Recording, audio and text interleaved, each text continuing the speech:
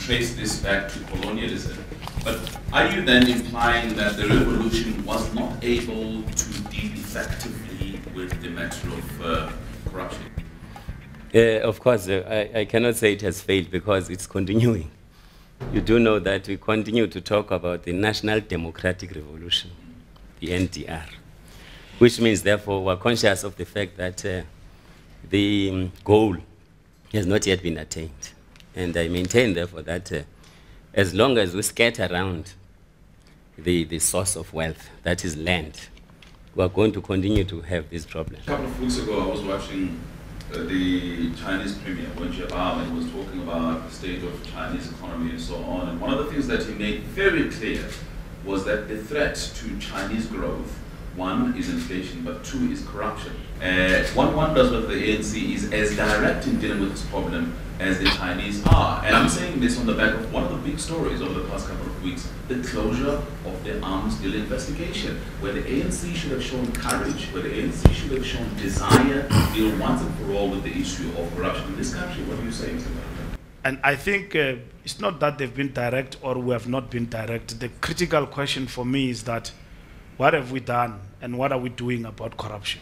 The question of the arms deal is not as easy as you pose the question, it's very complex it is informed by an array of, of, of, factors. First and foremost, you will, you will, you will understand that uh, there was full-blown investigation into the arms deal, of which there was a conclusion that was made by the, the tripartite that um, there is no corruption uh, in the awarding of, of the arms deal and all of that and that um, if there is corruption, it could be in the primary, uh, primary contracts uh, uh, and so on.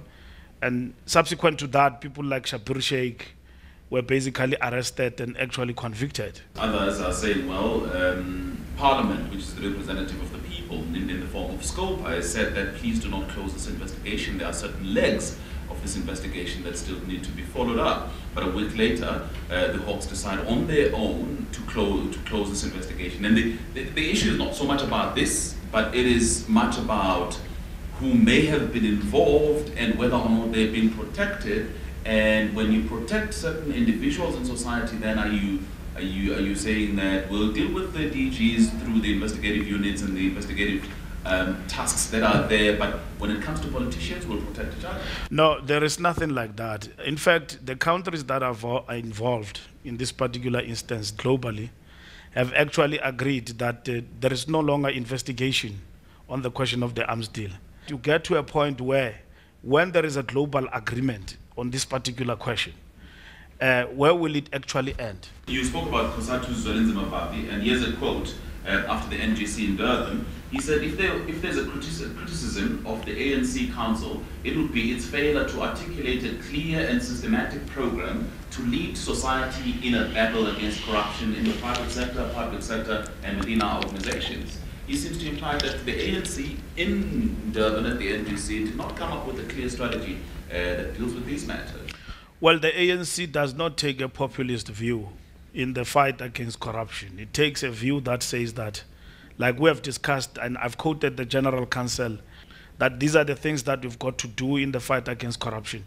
You know, corruption is not defined by looking at the cover of an individual lifestyle audit. It's about um, what we actually do uh, on daily basis. You see, there is a question that is called political influence, using your position to promote corruption. And that is called by Mail & Guardian political capital. All right? And that is what has given a definition to black economic empowerment. And uh, that has sort of narrowed the conception of black economic empowerment to something of cronies. And, and, and the ANC have warned against this.